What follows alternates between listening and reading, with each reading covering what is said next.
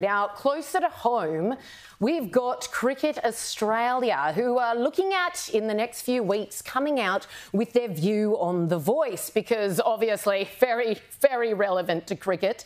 They're going to be giving a special briefing to Pat Cummins, Meg Lanning, and other senior Australian cricketers about The Voice before they head off to the Ashes, because again, very relevant to the most sought after prize in world cricket. Thank goodness they'll be getting this before they go.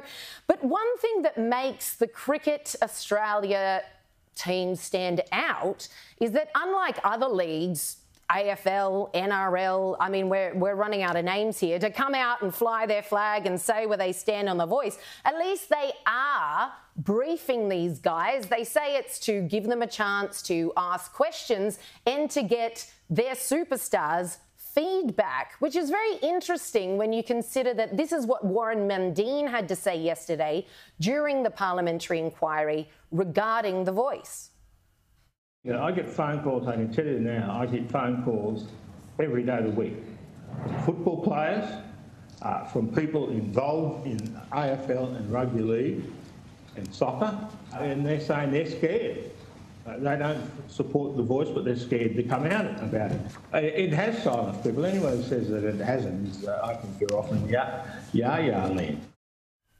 Which begs the question at what point, despite what your, your league, your the higher ups have said, at what point does this become a personal issue? There's Warren Mundine saying, oh, they're too scared to speak out about it because, you know, the, the big guys, the elites have come out and said this is where our league stands on it.